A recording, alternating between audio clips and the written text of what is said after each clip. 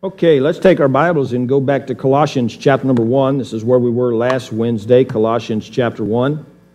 And uh, while you're turning there, let me just remind you, though I know you know it, that some of the things we have to do through this time of phase one and, and, and um, trying to behave ourselves wisely, uh, we have to do because there are nefarious souls that, if they had the opportunity, would sue our church or any kind of other crazy thing.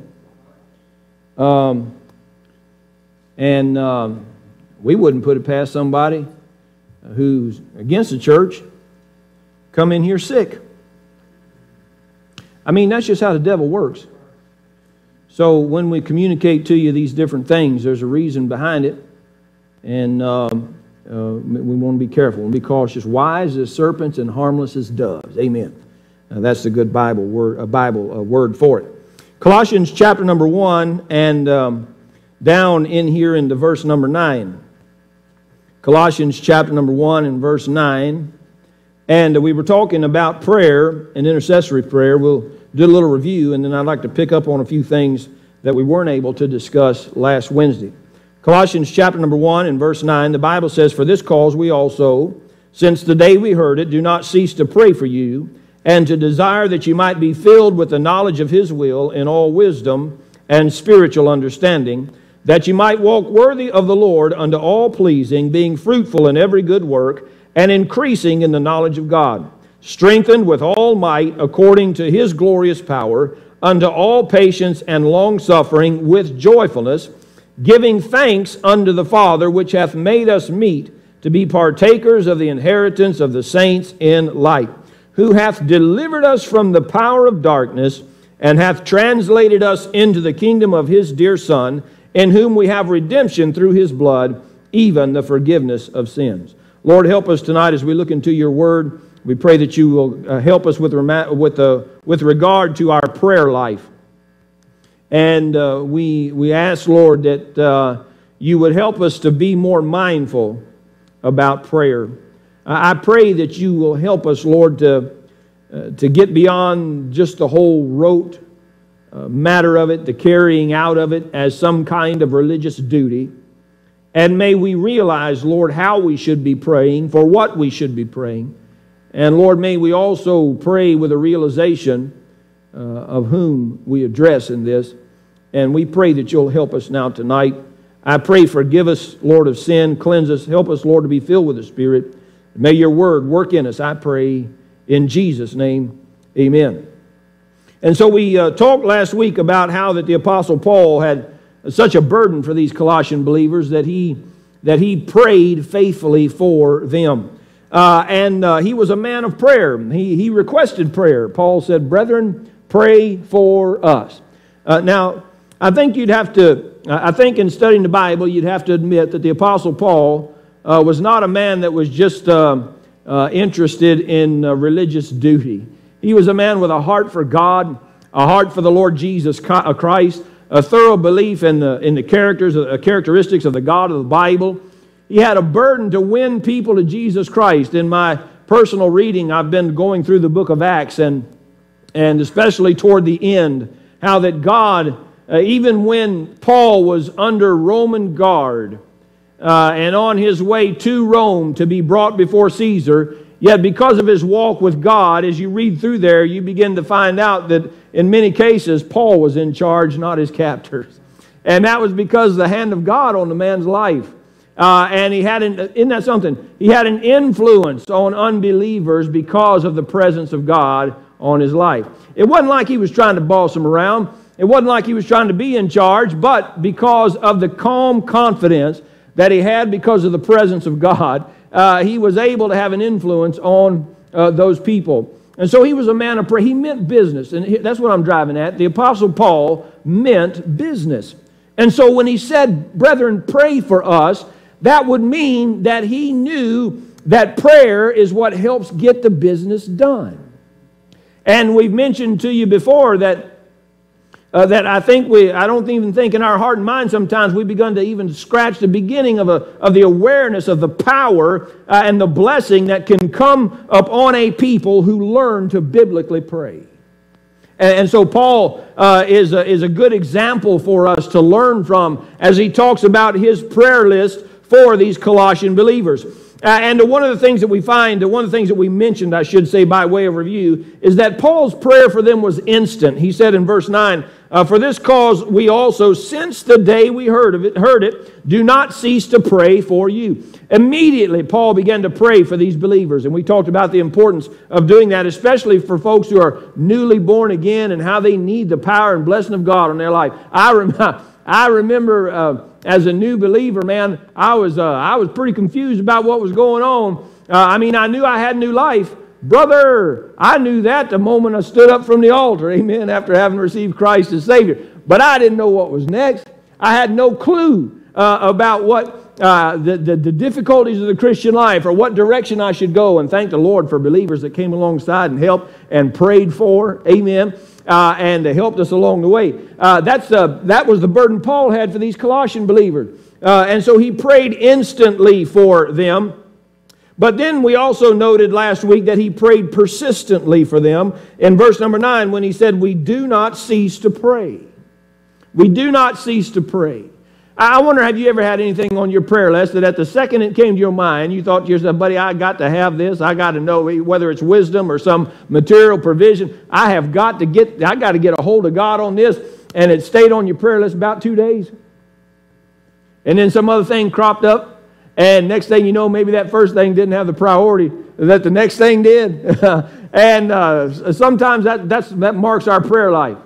Uh, a, a lack of persistence sometimes just to hold on to God. And we talked about how that Paul prayed unceasingly for these believers, and we talked about how that's going to require an attitude of God consciousness.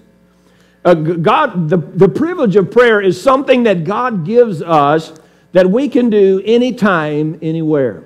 And as you look at the, as you look at the Bible, especially uh, even with the Apostle Paul in the early days of his ministry and Peter, I mean, they were in prison. Uh, they, you know, they would go down to the synagogue, yes, and they'd preach, and they'd gather together and worship and pray.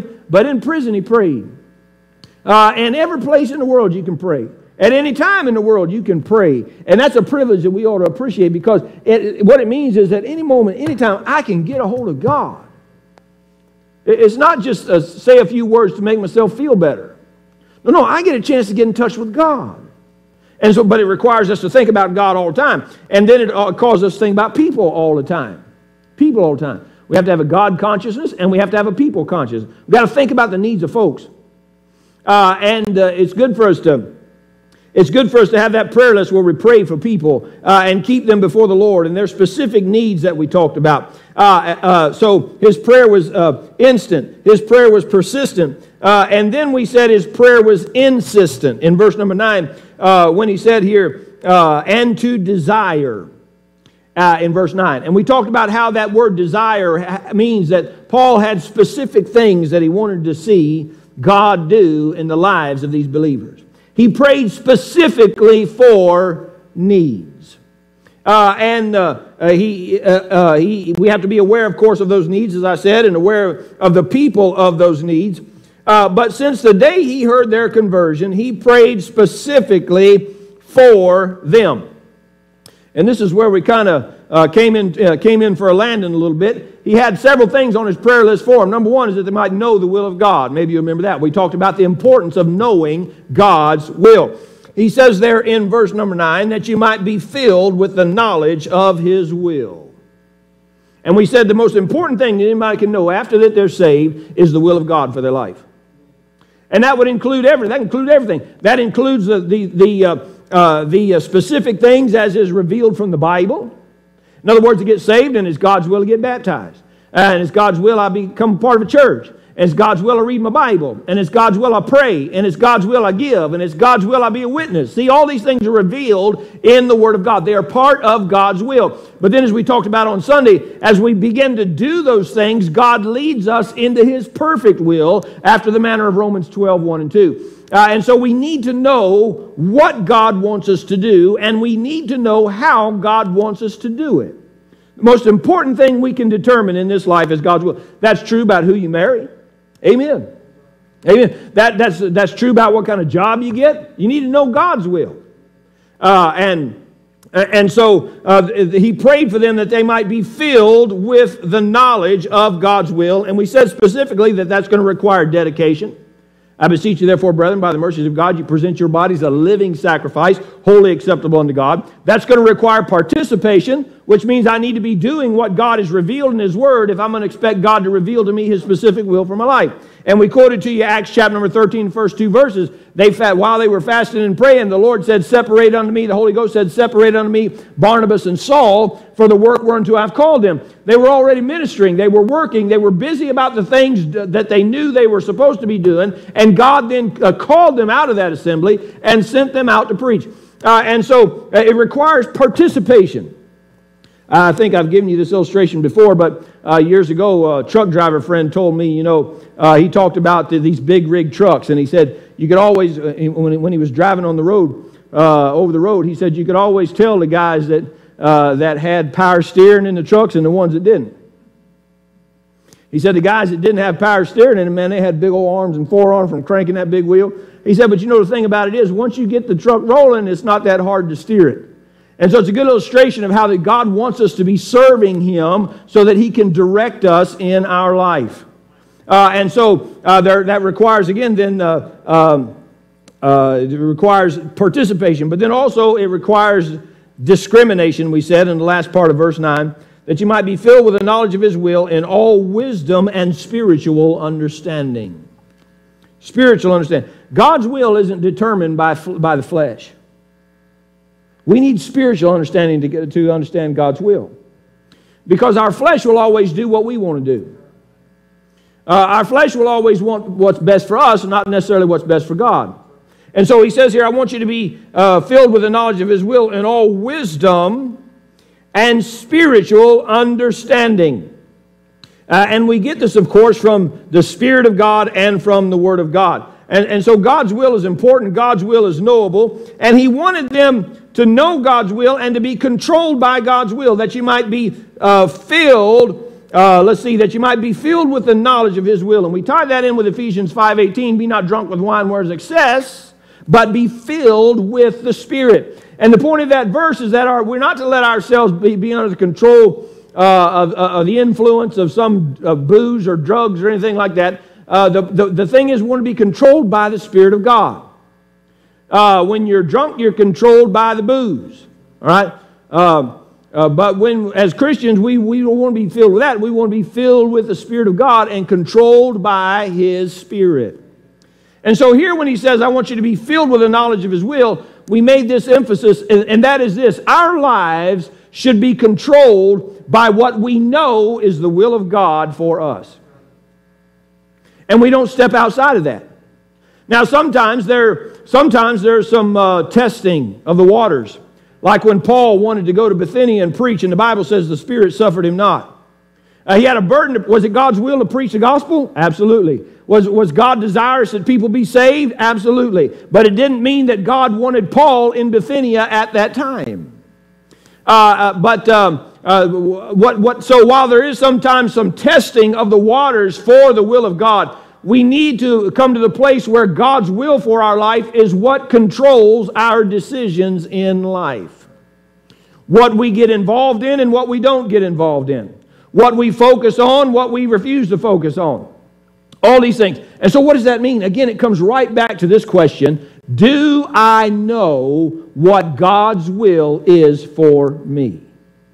Do I know? Do I know that God wants me in the job I'm in? Do I know that God wants me in the ministry I'm in?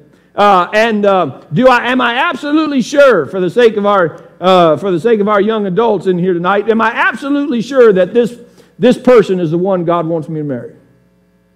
And if there is no peace uh, in that, then uh, the Bible says, "Let the peace of God rule in your heart."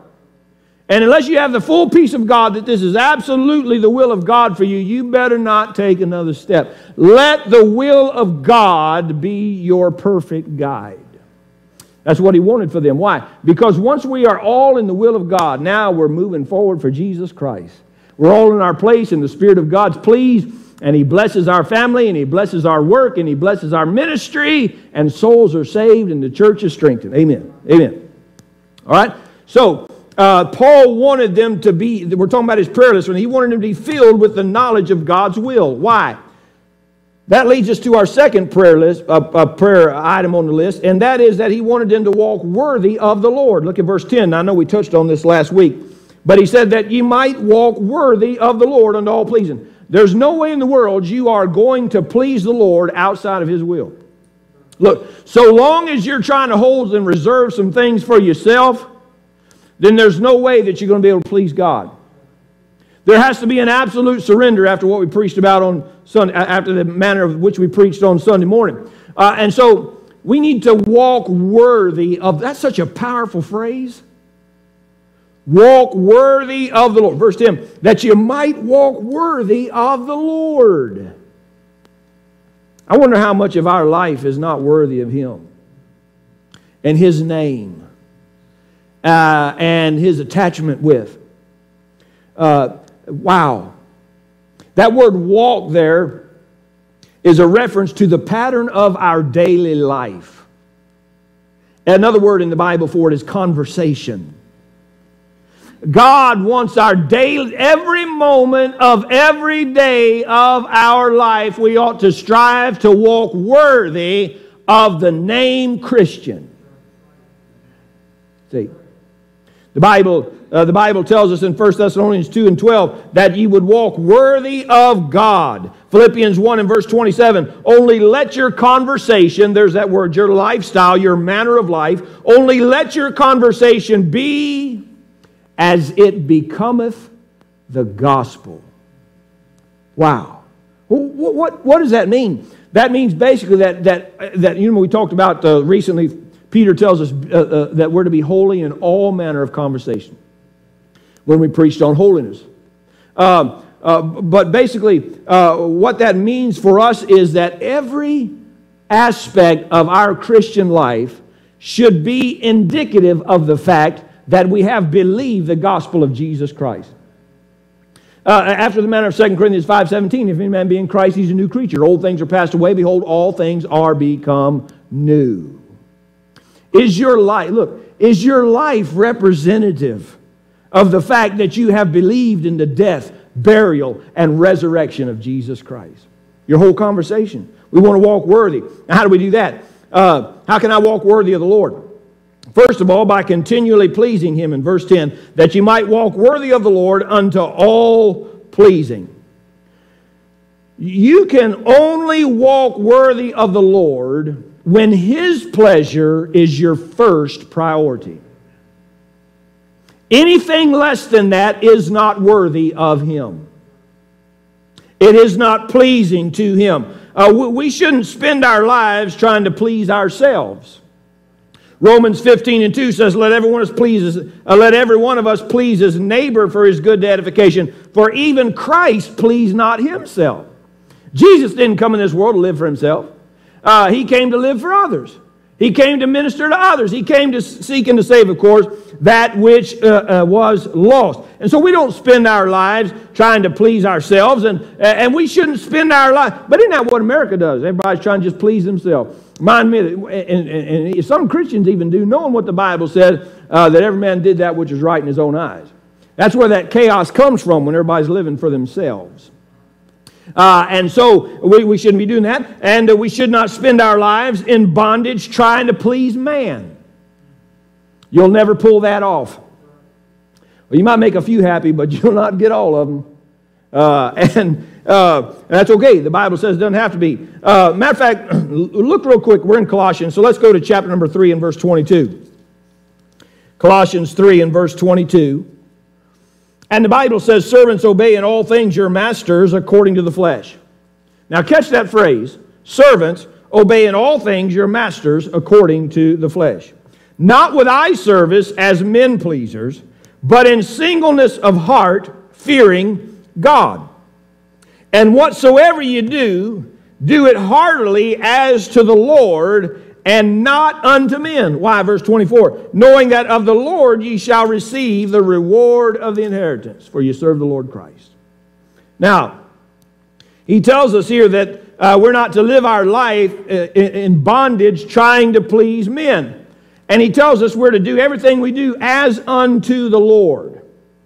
Uh, but there are many that use this verse in an effort to excuse themselves from their responsibility to human authority.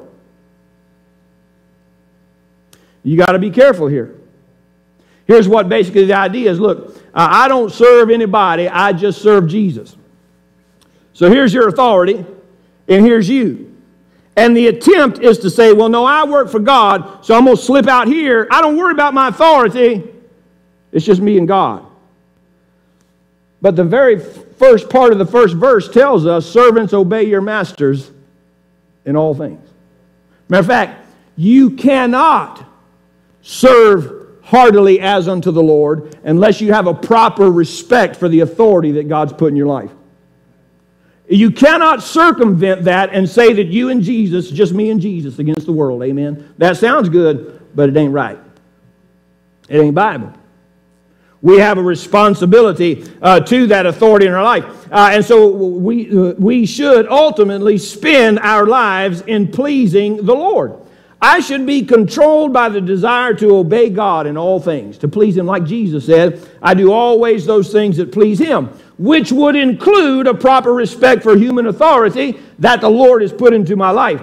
Uh, but uh, when it comes to this matter of, of, of the right attitude with which I serve, God's not going to make me. Uh, I'm to be constrained by love to seek to please Jesus Christ. If I, Jesus said it this way, if you love me, keep my commandments. And so we have to ask ourselves, well, how uh, d- d- does my lifestyle, does my conversation demonstrate that I love the Lord Jesus Christ? If we'd spend as much time trying to please the Lord as we do pleasing ourselves, we'd end up being a lot better off with God and others as well. Everything we do, we do with God in mind. Uh, the Bible says in Proverbs 16 7, when a man's ways please the Lord, he maketh even his enemies be at peace with him. Uh, and so we got to think about hey, uh, I, I, I, I, walk worthy of the Lord by continually pleasing the Lord, but then I walk worthy of the Lord by, by continually being fruitful. Look at verse 10 again. That you might walk worthy of the Lord unto all pleasing, being fruitful. Being fruitful. It is God's will that we produce fruit for Him. In John chapter number 15 and verse 1, he said, I am the true vine, my father's the husbandman. Every branch in me that beareth not fruit, he taketh away. Every branch in me that beareth not fruit, he taketh away. That's that shelf of uselessness, see. God expects us to be producing fruit for Him. Now, how do I do that? I produce fruit in a couple ways. One is by my witness. Look, God wants me to be busy about doing the same thing He did, and that is uh, to preach the gospel to every creature. Uh, and so I need to be a faithful witness that will produce fruit, the fruit of my witness. Every one of us should say, Dear God, please help me. As shy as I am, as stubborn as I am, uh, sometimes, Lord, as, uh, as backslidden as I get in my heart and mind, dear God, help me to remember that souls are more important than myself. Well, I can't witness to somebody I'm not right with God. Hey, the power is not in your rightness, it's in the gospel. The gospel is the power of God unto salvation, the Bible says. And so go ahead and tell them about the Lord and then go home and mourn over how you wasn't doing it when you told them about it. but you, we've got to be faithful in our witness if we're going to see uh, fruit for the Lord. But then the second aspect of that is not only witnessing for the Lord, but walking in the Spirit. And that's the key. Uh, Galatians chapter number 5, if you'll look there with me, please. Galatians chapter number 5 and verse 22. Galatians 5 and 22. and the Bible talks about the fruit of the Spirit. Galatians 5 and verse 22, the Bible says, But the fruit of the Spirit is love, joy, that's charity, love, joy, peace, long suffering Oh, Lord, I just can't bear up under it. You just can't. The power of the Spirit. All right? And then gentleness. That's in the Bible, even for independent Baptists. And we're not, we're not to go around just be cantankerous all the time. I get as aggravated as you do. uh, and, uh, uh, at how the world's going sometimes. But the Bible uses the word gentleness. Doesn't say smart aleck. Hello? Uh-uh. It says gentleness. In gentleness and goodness and faith. Verse 23 says meekness, that's power and control. We'll say more about that in a moment. Temperance, that's self control. Against such there is no law. And so uh, the, the, the fruit of the Spirit is what produces the fruit of our witness. And so, but the Bible's clear that we need to be uh, producing fruit for Him. I mean, I mean, it's connected right here. Walk uh, back back in our text in Colossians one and ten. Uh, he says, uh, "Being fruitful." Uh, wait a minute. Let me go back that you walk worthy of the Lord unto all pleasing, being fruitful. Uh, it's just not honoring the Lord when our lives are fruitless. It's just not. And so we need to ask ourselves, dear God, uh, what, how do I need to come in line? If I'm not producing fruit for God, there's three possible reasons. One, I'm not saved. There's a lot of people doing God's work, they ain't born again. Right, now, God will bless the gospel. We just said that a moment ago. Uh, but, an in, uh, but an individual, uh, by the way, that's because the power of the Spirit is upon the message of the gospel. And the power of the Word of God is the same whether it's declared by a lost man or a saved man. It's the Word of God that's the power, not the person. But a person's life can't be blessed fully of God until they're born again. They can experience God good, God's goodness, he makes the rain to shine on the just and on the unjust. He makes the rain to shine, rain to fall, makes the sun to shine. Uh, y'all just now caught it too, so there you go. Um, on, the, on the just and on the unjust, right? Every person on the face of the planet experiences in some way God's goodness. Amen. By his blessing and provision for them. But Jesus still said you must be born again. And so, wasn't, wasn't that what he said um, when Nicodemus came to him by night? And what did the Lord tell him? You need to get saved. He was a Pharisee, religious as the day is long, faithful, probably knew more scriptures than we'll ever know, as a lost man. And Jesus said, You need to be born again. Uh, and so thank the Lord that he was. But anyway, there's the lack of salvation, there's a lack of faithfulness. There's a reason why some people don't see any fruit. Uh, look at the phrase again in verse number 10. Being fruitful, what does it say? In every good work. In every good, that means we've got to be working. There are some people that are waiting for God to drop spiritual fruit from heaven right on their head while they sit on their bottom. That is not how it happens. What does the Bible say? You got to sow to reap. Amen. You got to plow. You got to, man, you got to go to work. Right? And so, same thing with the Lord. I may not be seeing fruit because I'm just not faithful. I'm not faithful. I, am not seeing fruit in my, in my Bible understanding because I'm not reading my Bible faithful like I should. I'm listening to the preaching. Are you reading your Bible? Uh, I, am not seeing the fruit of my prayer life because I'm not praying like I should. I'm not seeing the fruit of my witness because I'm not witnessing faithfully. You, you, you, get it, you get it. And right on down we go. So, um, uh, the idea of being faithful. Some people have no fruit because they're just not faithful. They dabble here a little and then they go somewhere else and dabble there, and the next thing you know, uh, it all comes up to naught. But then there's also the importance of the lack of spiritual growth. We don't produce fruit if we don't grow in the Lord. And so he goes on here to say in verse number 10 that you might walk worthy of the Lord unto all pleasing, being fruitful in every good work, watch, and increasing in the knowledge of God in the knowledge of God. Now, maybe you'll remember last week when we touched on this verse, we said that this, this, this knowledge it's, it is much more than factual, it is personal. Look, it is okay for us to believe and to hope for an experiential knowledge of God. That's, that scares some people. Well, I'm asking, is God a person? Yes. And we believe that God the Father, God the Son, God the Holy Spirit are all persons, which means there's personal interaction with them. You see?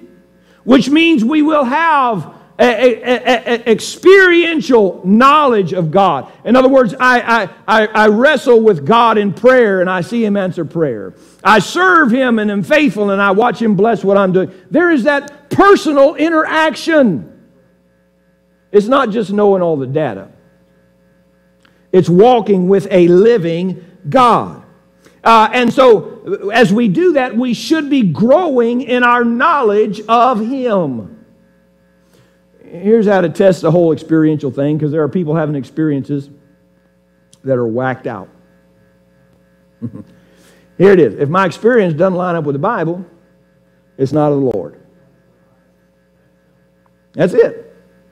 Right? And so, uh, but I do have experience with it. Tell me your heart hadn't been moved in prayer and you knew God was right there with you.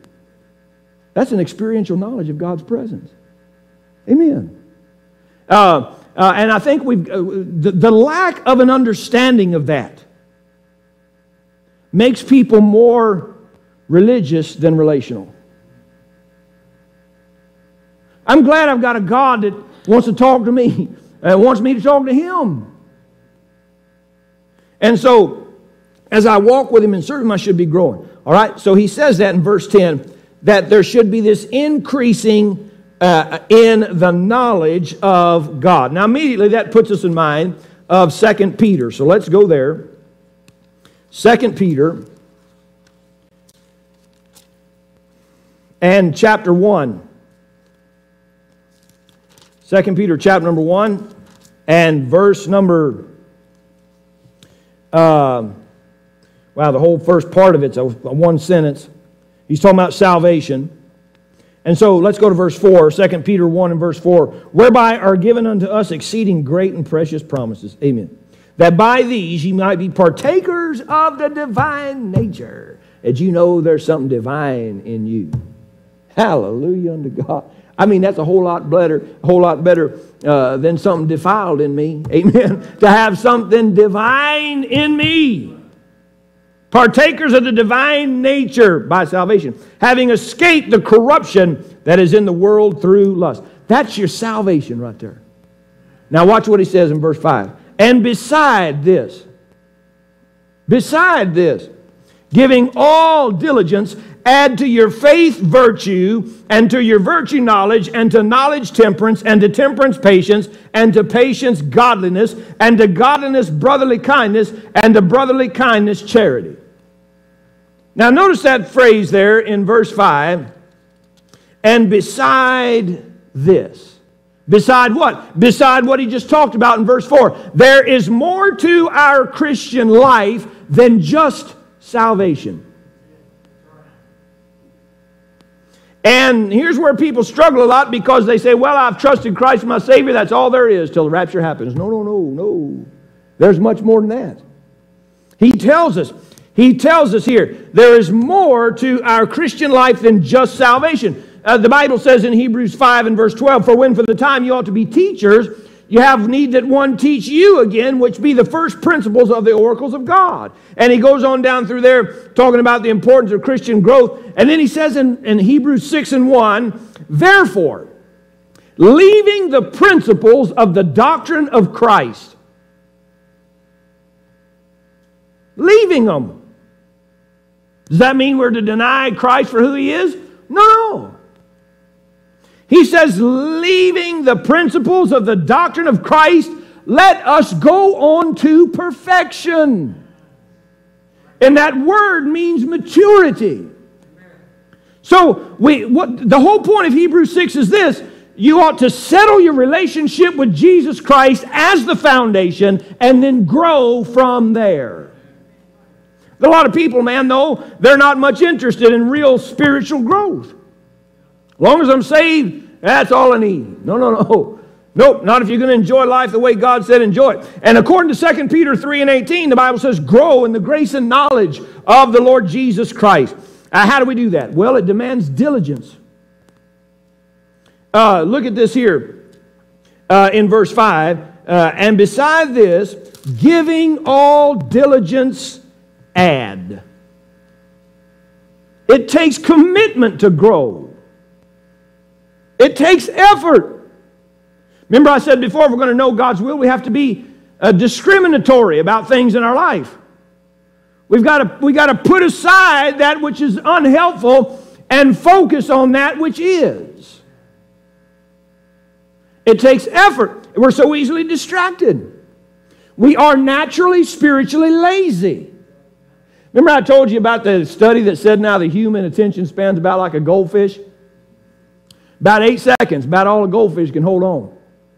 And then it's going somewhere else. That's human nature. And our society doesn't help us any. That's why I'm for a balance of, of this stuff here. Because if you carry it too far, it becomes like the thing that lures the goldfish away. It's distracting. And so now, when you have churches, when the whole back wall is a moving video screen, I just wonder if we're able to focus on God like that. So, we are so easily distracted, we are so spiritually lazy that the Bible's clear here. It takes diligence. A lazy, careless Christian does not grow. And what I mean, lazy in prayer, lazy in church attendance, lazy in Bible study, lazy in service, lazy in commitment to learning new things. When's the last time you tried to memorize a new verse? When's the last time you tried to take on a new truth? Huh? That's how you grow. Now, watch. Uh, matter of fact, he goes right through that here when he says uh, in uh, verse number verse number five. Add to your faith virtue. That means excellence or praise. In other words, Philippians 1 and 10 says that we should approve things that are excellent. Philippians 4 and 8 says we're to think on anything that, uh, of, of which there is any virtue. Here's what I'm trying to say Christians should have a, a, a higher purpose for their life than just living according to the baseness of the world. We are to think about and add to our life the excellent things of God. We're to live a life above the world, the flesh, and the devil. The word virtue carries the idea of superiority, not that we are superior, but it's talking about the superiority and the excellence of God. We need to add that kind of virtue to our life. And what is it? He tells us to add it, it's a command. Well, how do I add it? Read the Bible. I pray. I yield to God. I, I let His Spirit and His Word teach me how to live, to renew my mind. Romans 12 and 2. See. Then he says we're not only to add virtue, uh, by the way, uh, it, it, carries that, that idea of excellence, and so we understand maybe a little better Colossians 3 and verse 1 if ye then be risen with Christ, seek those things which are above, and not uh, those things which uh, uh, are upon the earth. Uh, he says here, where Christ sitteth on the right hand of God. Set your affection on things above, not on things on the earth. What does that mean? Virtue takes us above the carnal, fleshly, shallow life. We need to add that virtue. Then he says, add knowledge in verse 5. Add to your virtue knowledge. And that refers to moral discernment. Boy, don't we need that in our day. I'm surprised, I think I said it recently, I'm surprised at how, uh, what, how much of a lack of discernment there is among professing believers. And most of it that I have experienced or heard in my life, experienced because not everybody, when you get born again, doesn't mean all of a sudden you're infused with all the knowledge of the wonder of God. Not at all. You got to learn and you got to grow uh, but experienced and seen in the lives of others is directly related to the lack of discernment, is directly related to ignorance of the Word of God. Every time. Every time. I don't know enough of the Bible. I got plenty of time for all my shows, but I ain't got time for the Bible. I got plenty of time for all my hobbies, but I ain't got time for the Bible. And next thing you know, what happens? You don't have the discernment you need to make right decisions in your life. And so he says here we grow by adding virtue, and to virtue, this knowledge of the, uh, the ability to discern between right and wrong, good and bad, false and true. And then he says in verse number six, of course, that this knowledge will add to us temperance. That clearly is self control. So uh, I, I put it down this way the more we grow in the Lord, the less we should be using the phrase, I couldn't help myself. Because I know what the Bible says. I know the Bible says what I'm supposed to do. I know what the Bible says I'm not supposed to do. Uh, and I have the Spirit of God within me to enable me to carry it out. One of the great things here about this verse where he says that we that he prayed for them to walk worthy of the Lord, one of the great truths of that is that it proves that we can walk worthy of the Lord. Some people have the idea they come into it with a defeated mind. Well, I'm just a sinner saved by grace. There's no way in the world I'm going to be able to do that. No, no. God commanded you. God gave you His Word and His Spirit to help you. And you can walk worthy of the Lord if you'll choose it. So, temperance is self control. The more we know of the Bible, couldn't really means wouldn't. In other words, it's not that I couldn't help myself, I wouldn't help myself. All right, I need to add temperance, self control. Number four, I need to add patience, he says in verse six. Patience. This refers to endurance. It is the staying power of the Christian in times of trial. And the only way you have patience is by tribulation. Ain't that what the Bible says? Right. Only by tribulation, uh, only tribulation worketh patience. So I have to go through it to gain strength. It's like lifting weights, you know. You, you wound them to, to build them. hmm. And uh, that's the way it is. Our strength should be growing uh, all through our life, growing to bear up under the trials and difficulties of life. And then he says to that we add godliness, which basically means a life devoted to God. You know, we sing the song, The Longer I Serve Him, the sweeter He grows. Look here, that ought to be the testimony of every growing Christian. The more you, the more, since the time that you've been saved and all the time you've been living your life, uh, you, you, ought to have a more of a devotion for God than you have ever had in your days, day by day. We're to add that. That's Christian growth. Uh, uh, and it's to, how long will we have to grow until we're done? The rapture. That's it. And all through life, we're to, be, we're to be adding godliness to our life. Brotherly kindness, he mentions in verse 7, that stands to reason. Be, be ye kindly affection one to another. Brotherly love and honor, preferring one another. The more you grow in the Lord, the more you begin to realize that people are people. And they're not opposed to you in all their flaws, they're reflections of you in all their flaws. That's right. They have the same quirks you have, same trouble, the same flesh they're wrestling with. And what that does is produce a burden for rather than an arrogant condemnation of the saints. Brotherly kindness. And of course, he ties that all up here with adding charity, uh, which we remember from 1 Corinthians 13. Uh, 1 Corinthians 13 being uh, the love of God we, we grow beyond the phileo to the charity, the self sacrificing love of God, where we give of ourselves like our Savior did for others. Now, let me mention this uh, with regard to uh, uh one thing I want to mention, and we'll pray, is back here when he said uh, that we are to add uh, to our faith, uh, add to your faith virtue, and to your virtue knowledge, to knowledge temperance, to temperance patience